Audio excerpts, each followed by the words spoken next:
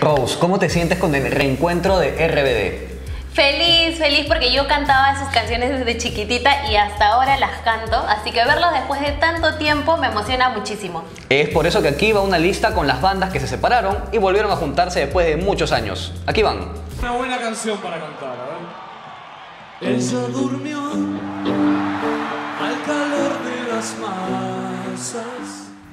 Por cuestiones personales y criterios artísticos entre sus miembros, Soda Stereo realizó una breve gira de despedida que terminó en 1997, pero 10 años más tarde anunciaron su regreso con una nueva gira continental.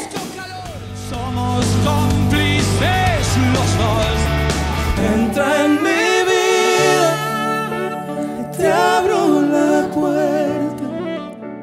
Sin Bandera, el dúo conformado por el argentino Noel Chagris y el mexicano Leonel García se separó en el año 2008. A fines del año pasado, anunciaron nuevamente su reencuentro en una última gira llamada Sin Bandera, una última vez. Y puse toda mi pasión para que te quedaras. En 1994, Guns N' Roses se diluyó, ya que varios de sus integrantes decidieron tomar caminos separados y quedó solo Axl Rose como único miembro original. Recién en el 2001 volvió a los escenarios junto a los nuevos integrantes del grupo. La boy band de los 90, Backstreet Boys, alcanzó éxito en todo el mundo, pero en 2002 tomaron un descanso y fue en el año 2005 cuando regresaron a los escenarios con un nuevo álbum.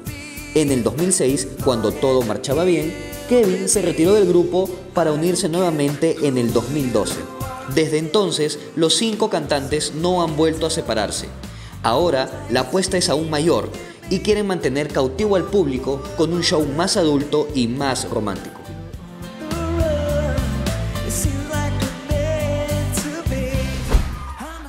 Los Jonas Brothers volvieron a unirse como banda en el 2019. Después de una pausa de seis años, regresaron con un nuevo álbum y una gira mundial.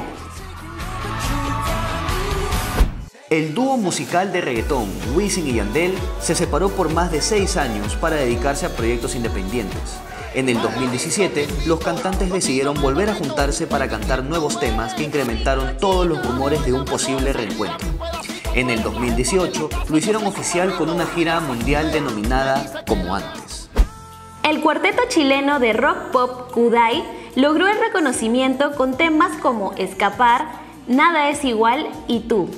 En la primera década del 2000, luego de 16 años separados, anunciaron no solo su tan esperado regreso, sino también el inicio de más proyectos.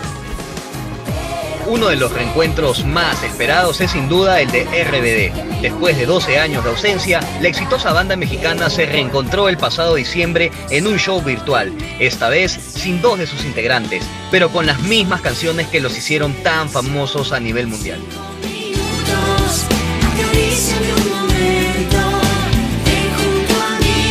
Espero que les haya gustado esta lista de las bandas que se reencontraron después de muchos años. Si recuerdas alguna otra, déjala en los comentarios. Y no te olvides de seguirnos en nuestras redes sociales y suscribirte a nuestro canal. Nos vemos.